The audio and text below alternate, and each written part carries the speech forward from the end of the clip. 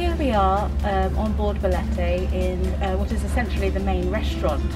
What's strikingly different from uh, the um, other uh, ships, uh, Braemar and Balmoral, and the previous ships on Fred Olsen, is that on Bolette and Borealis, um, the main restaurant is actually a lovely two-tiered um, restaurant.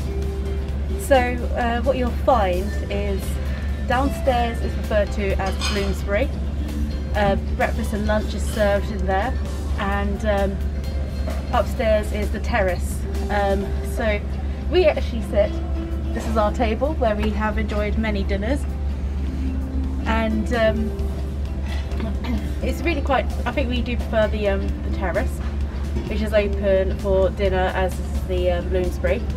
Currently it's only still traditional first and second seating but there are plans to have um, anytime dining introduced uh, but because of COVID it hasn't been implemented yet. So traditionally um, it's still sticking to the first and second seating for dinner.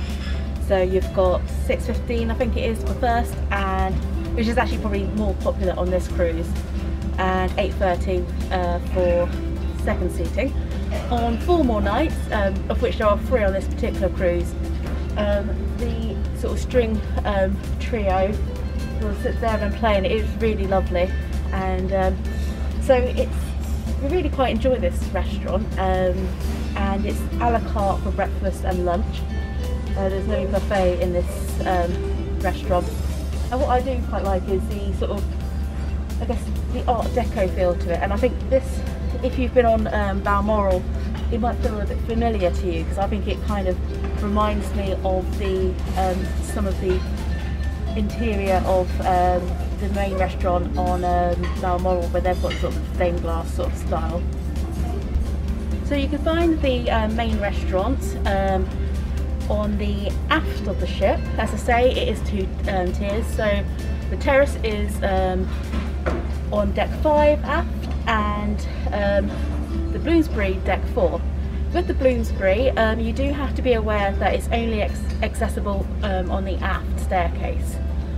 Uh, so whereas with um, the terrace you can just waltz all the way from forward on deck 5 through to the restaurant. With um, the, the Bloomsbury you do have to use the aft staircase for access.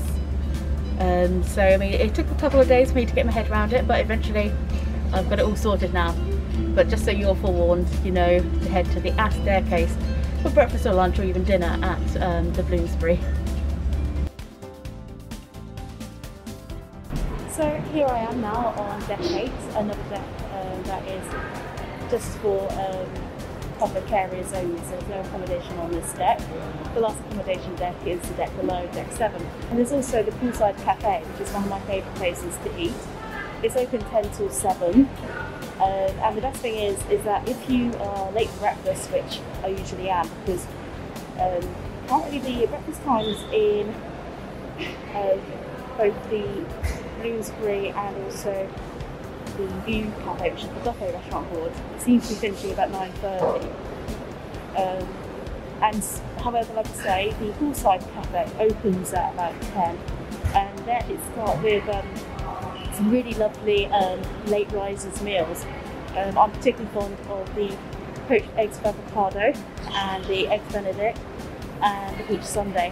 Um, and I tend to go here almost every morning for my breakfast, to be honest.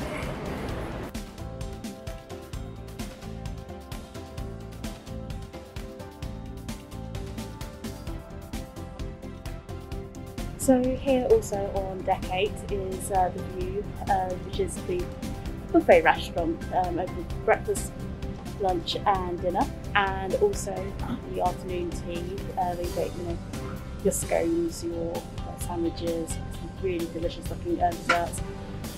That I am using all my willpower to not have today because we are going to Taste later and I'm going to need my appetite for that. Um, so Obviously now with COVID, um, it's a little bit different, so you don't just help yourself. Um, the chef at the various stations will, you know, you say, oh, could I have, um, I don't know, whatever is available, you know, the penne pasta. And actually the, um, for example, mentioned pasta station, they cook it fresh for you, which is lovely. Same with the uh, egg station at breakfast.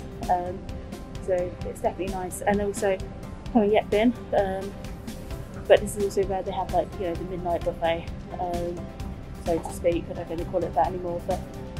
Um, tomorrow I think will be our last formal night, the third of three, and I'm hoping that's when they do the special buffet, but we'll see.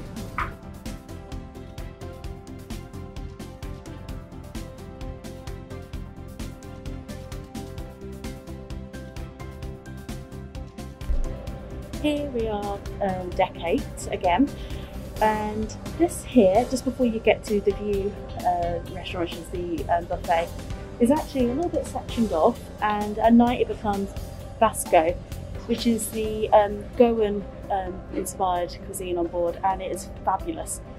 Um, so you currently, you don't have to charge, you just have to make a reservation.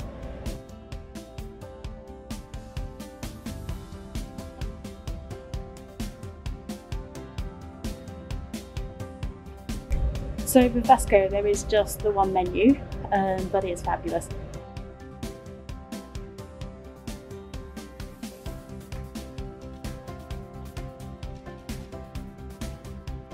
The starters are incredible and they also uh, give you all these um, different types of Indian bread lunch parties, some different naan breads, all these gorgeous dips. So good. No wonder it's the captain's favourite restaurant.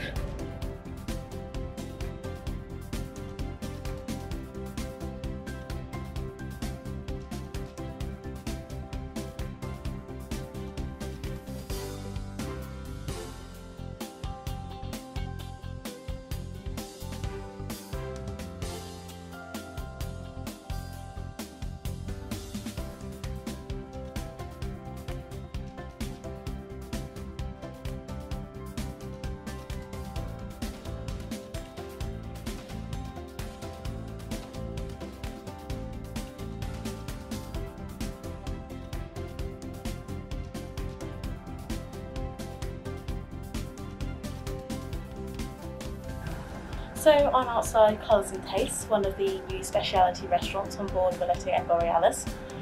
Currently um, you can enjoy dining in here for just £5 per person, so incredibly good value, but it won't stay that low forever. Um, this is a fabulous um, restaurant, we've eaten in it already once, going in again tonight. Um, currently we have two menus available, but I believe as of the next cruise they'll be introducing two more. So they sort of um, change the, um, you know, switch the menus throughout the um, each itinerary, um, and they'll be obviously growing more, um, growing more, serving more um, menus. Um, so it's Asian fusion and it's absolutely delicious. Uh, what we like to do is have all the starters uh, because it's pretty much impossible to choose to be honest. So we have little bits we share and it's just stunning, really lovely um, and a fantastic concept and I love the um, I love the walkway up from the midship staircase to um, to the restaurant and I love the inside of the restaurant as well. I think it's really beautifully um, decorated and the um, the crew who um, work in this um, particular restaurant are just so lovely. I mean to be fair they always are so um, wherever you meet wherever you go on board